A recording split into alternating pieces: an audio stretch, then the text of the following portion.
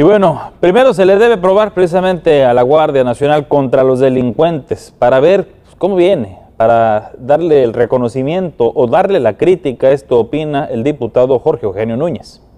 La Guardia Nacional es bienvenida a la región, declaró el diputado local del Congreso del Estado, Jorge Eugenio Núñez Lozano, tras señalar que es un proyecto encausado por el gobierno federal para proteger a los ciudadanos de la delincuencia, pero también las vidas de los propios migrantes. Digo, es, el, primer, el primer esfuerzo de este proyecto de la Guardia Nacional. Creo que eh, Baja California debemos estar contentos que que lleguen estos refuerzos en el tema de seguridad, pero también el tema migratorio, que ha sido un tema delicado para Baja California y tendremos que estar muy al pendiente todo el sector eh, público, el Congreso, los regidores de los diferentes municipios, pero también el sector social y empresarial para estar al pendiente de cómo trabaja, este, ver el tema de los derechos humanos, que se respetan a final de cuentas el tema de los derechos humanos y ver eh, la eficiencia y, cómo nos va a ayudar en estos dos temas tan importantes. Creo que le debemos dar una oportunidad a este sector de, de, la Guardia Nacional y obviamente nos conviene a todos que funcione tanto el tema de seguridad como el tema de migración. El legislador baja californiano manifestó que a los diputados y en general a las autoridades les compete vigilar que en el actuar de la Guardia Nacional se respeten los derechos humanos,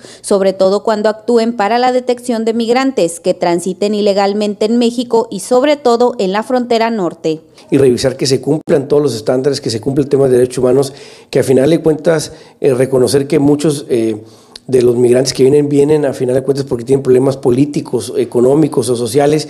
Bueno, algunos de ellos que vienen con ganas de, de abonar la cultura de California en nuestro país, pues darle una oportunidad que, que, que estén en, en, México, pero también otros que, que vienen en otra cuestión. Eh, incluso en, temas de inseguridad, pues bueno, que la Guardia Nacional pueda colaborar. Entonces creo que más que estar a favor o en contra, necesitamos estar en estas semanas y meses muy al pendiente del trabajo de, esta eh, nueva responsabilidad de la Guardia Nacional y eh, revisar que si funciona, pues que se quede y si no, pues ser muy críticos para eh, exigir que, que, que, que, dejen una u otra responsabilidad. ¿no? El diputado del Congreso Estatal agregó que se debe dar la oportunidad a los elementos de la Guardia Nacional para que trabajen y así demuestren si están preparados para estas dos tareas en particular.